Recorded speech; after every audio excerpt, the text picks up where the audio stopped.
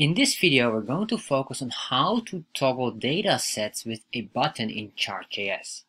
And understanding how to toggle a data set is very, very powerful. And to explain what is toggle, toggle basically means if you click on a button, it will hide it, for example, and if you click it again, it will unhide. So it will show again. So it's like a checkbox.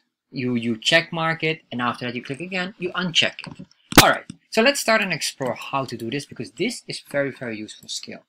So the first thing what I want to do here, because this is my basic HTML file here, is I want to go and add up the chart in Chart.js. So go to chartjs.org and in here we go to the latest day, uh, documentation, which is version 3.3.2. In here, I'm going to copy this here, and then we have a lot of these items here. And once I have this, I'll put it all in here. I'll paste this in here. And what I'm going to do is I'm going to remove this here. I want to remove this. We'll later uh, nest this value in here with a div, or what we can do it immediately. We'll give a class. We say in this here, the class will be the chart box div. Very straightforward, nothing fancy. All right, so once we did that, proper indentation here, and some extra enters below here, so we have some space. All right, what I want to do here is the first thing is want to adjust it to constants. All right, so we have this, and the next thing what I want to do is I want to add the chart.js library. So in here, just go to Getting Started, click on Getting Started, or on the sub, sub menu of Getting Started, and in here you can find the CDN of chart.js. Let's copy that, put it in here, save this, and once we save this and refresh, you can see now we have this wonderful chart in the chart chart.js, or uh, the chart from chart chart.js, a bar chart, but what I want to do is I want to restrict the size of this. So let's start and do that immediately by using a style tag here. So we say style tag, and in here we're going to work with the chart box class. So we say dot chart box with capital letter B. Of course, you can rename it to anything you want. It's just I'm using consistency here in many of my examples. So in this chart box, what I want to do is I want to say width and we can say here with 700 pixels. And once we save that, refresh, and now automatically it starts to adjust itself. So we are done with this. So what I want to do next is basically create a few data points here or extra data sets. Right now we have one data set here in all these colors. So what I'm going to do is I'm going to copy it and then we're going to give it only one color for every data set. So we're going to copy this, paste, and copy one more time, paste. All right. So now we have these data sets here. What I do want to do is I want to give it uh, some different data points. Main reason for this is that we can see the difference later on. It will be 13, this will be, let's say 23, and this will be 15, 12, and 3. All right, so this will be red. So I'm going to remove this here and remove these uh, brackets here as well. Main reason for this is that this is indicating that it's an array, but it's not. So I'm going to remove that. Next, the the border color. Same story here, remove that, delete all of these. There we are. And finally, have the border width here. Well, this border width could be adjusted because we have it multiple and we could make it, what we will say, dry by putting it in the options here. So we could say in the options border width. And then this could be one. And make sure it's comma, and then we can remove all the redundancies here. This we don't need. Don't need as well here. Oh, and the border width here including the comma no need. So in here I will just say this will be number of red. Uh, this will be yellow and blue. And the reason why blue well let me show you here. Oh first one is blue and then yellow. So Have to adjust that yellow this will be blue so we have this color is fine, or we have these data points here is fine, because we already adjusted the first one here. So I'm going to remove all of this, put in a comma here, because I deleted the comma, remove the brackets here. All right, and then here, there we are, and then let's put that here together. And I see I forgot this bracket, delete that bracket there above. If I have the yellow, yellow, I want to have some new data points here, so 2, 9, and I'll say here 7, this will be 15, or we already had a 15 here, so let's say this one will be uh, 13 this will be 8 and finally here again 9 so this one goes up and down. And then yellow is the is the third color in here. Let's delete all of this. All right delete the bracket because we don't have to use an array can give you sometimes an error so that's why you can remove that. Delete all of these.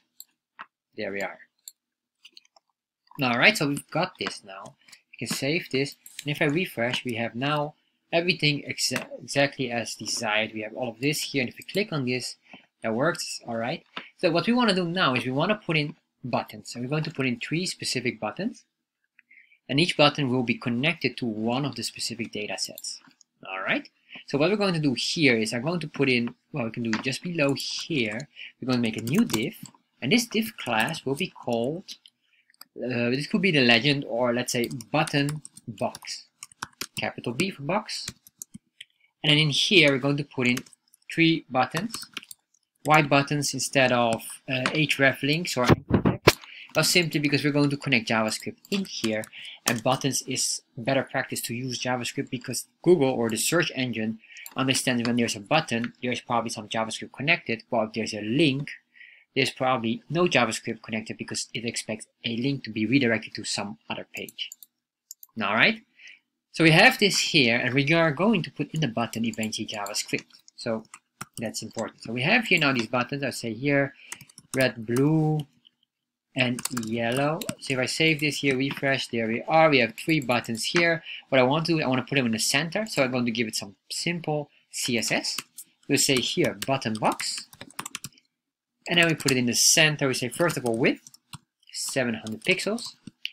And then we say here display flex for flexbox.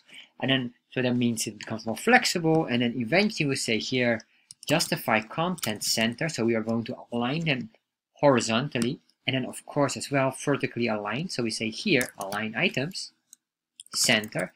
So that we have the line height being well centered as well. All right, so horizontally and vertically we are aligning it if ever this would be bigger.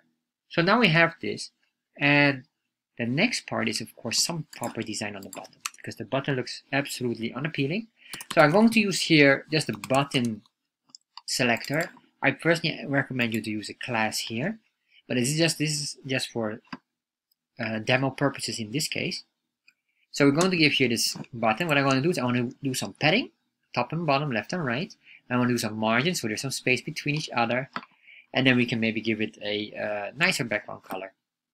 So we say here padding top and bottom 5 pixels left and right 10 pixels and then when we say here margin so there's some space between each other 5 pixels and finally um, maybe background color we will say this will be black or gray that's fine and then we'll say is color for the font color I will make this white and finally border radius to make it a nice round border. We'll give this 20 pixels. Save this, refresh, there you are. You can see here we have certain things. We can maybe adjust still something, but for now that's fine. This is more than enough. Eventually we could match the color with that, but that's fine. Next time. So now what we're going to do is we want to make this connected. So what we need to do is we need to create a function here. And this function is basically called, well, we can say show data or toggle data, that would be even more appropriate, toggle data. And in here, what are we going to do is we're going to put in the function. So we want to trigger the moment we click on this. So on click, toggle data should trigger something. Here, I'm going to get the value, which is eventually, this is zero. Why zero? Because we're going to match them with the bar chart here. Meaning that because here we're working with data sets and every data set is basically an index here because of the bracket as you can see here. So this is zero. This one here is the second data set, which is data set number one or index one. And this one, the third element in the data set, which is index number two. All right, so remember that. So this is one, and this is finally number two. All right, so that means that we can trigger them. So how are we going to trigger them? Well, we're going to make it here. We say here, on click, we're going to trigger the function and the function name is called toggle data why toggle data well that's the function we created here So then we say here the following. We say here value. What's the value? In this case, red is number one, for number zero. Remember, about the data sets here. So this is data set zero, so that's red. And then after we can count them up gradually. So we got this one as well. Put it in here, put it in here. This will be one, this will be two. Alright. So now once we have this, we can make here the function, we say console.log, just to confirm if everything is correct. And we say here, I'll just say here value, we will just console or the console log will display the value that we click.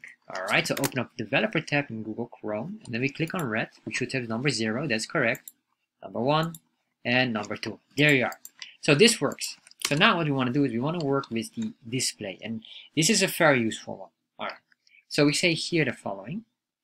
I'm going to say here my chart because we're starting here. So this is my chart and we say dot basically what we're going to do now is we're going to say here is visible. Oh, sorry it's not it's visible it, it is is let me delete that data set visible. And with this what, what you really do is yeah, this command is not shown in chart.js you have to find it in the documentation or not even in the documentation in the in the chart.js file itself so if you dig in here, you will eventually find something that will tell you that. However, it's really hard to find it. But eventually I found this here, and this is the most powerful one you have, alright? And then we say here the number. What is the number? So if I say number zero, we're going to focus on data set, set uh, number zero, which is this one here, index zero, is visible, and then it will say yes or no, basically if it's true or not. So this is what we need. So we can say here console log, and then we can just see what's the value right now. And we say here, I will just get the value here. And if I do this and save and refresh, you would see here now we get true. The reason why we say true is simply this, because it is not show, or it is showing right now. So we have this one here. So we're going to make here basically an if statement based on this specific value. We're going to create a constant as well because I want to use if statement, but we don't use an if else. So we're going to do, do two if statements here. So let me explain that. And after, or let me show you first, and then after I will explain what I, why we're doing that like that. So we say here is, and then we can say here, um, show value, that's the const, equals this. And what is it exactly? Well, value this, all right? So then we have this here. So now what we can do here now is create an if statement. And the reason why I'm doing if statement here, because I'm going to use two if statement and I'm going to remove the, we won't use the else, if else statement. And the reason why for that is, if you use else statement or if else, you will get a very long statement and it's confusing. It's easier to read if it's just a simple if statement here. Alright, so then we say here, if, oh, semicolon here. So if show value equals equals strict. True. At that moment we want to hide the value. So we, you can see it right now. It is true. Why is it true? Because it is being shown. It is visible.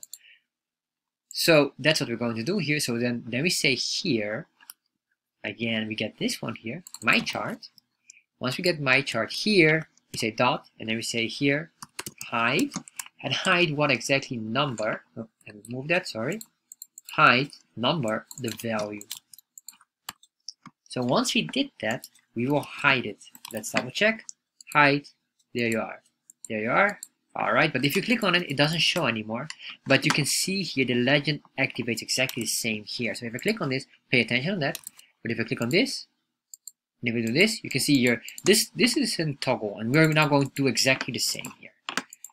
All right, so we have this one here. So now again, if show value, show value equals strict false. In that moment, we will say my chart show value. All right. So once we do this, refresh, now you can see if I click on it, there we are.